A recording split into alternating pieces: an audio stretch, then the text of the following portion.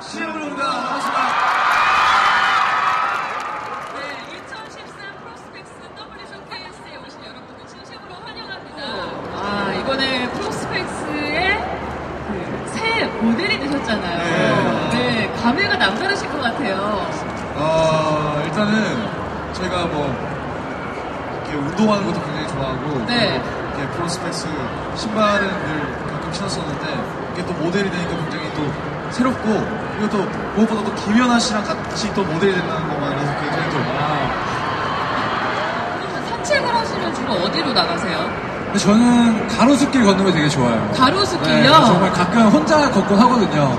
근데 어. 어, 정말 나중에는 네. 여성분과 데이트를 한번 하면서 한번 걸어보고 어, 싶어요. 진짜요? 민영, 민영이가 민영이가 약간 강남 스타일입니다. 어, 강남, 어, 강남에 그런 가로수길을 자주 거닐다 보면은 네. 우리 민혁 씨를 좀 만날 수 있는 건가요? 네, 가끔 이제 보시면은 저를 만나실 수 있을 것 같습니다. 네, 여러분들 가로수길로 가십시오. 민혁 씨 모시러. 네.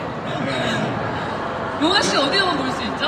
아 저는 어, 지금은 이사 왔는데 얼마 전에 이사 왔는데 예전에는 그 홍대를 가까워서 홍대에 정말 자주 가고 밤에도 정말 자주 가고 그리고 어, 낮에 아침 일찍 사람들이 별로 없을 때 좀 많이 걷는 그냥 홍대에서 거의 홍대요. 아침 일찍은 어디? 어 그냥 그 홍대 길거리 골목골목 다니면은 굉장히 사람들도 별로 없고 조용한 곳이 많아요 그래서 홍대 골목골목이요? 네, 이어폰 꽂고 이게 뭐 걸어다니다 보면 굉장히 좋을 때가 많습니다. 여기서 오늘 말했어.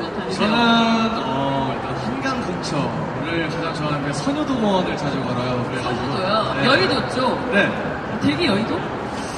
여의도는 아니고요. 저희 옛날 숙소가 영등포 쪽이었어요. 아. 그래가지고 선유도랑 친합니다.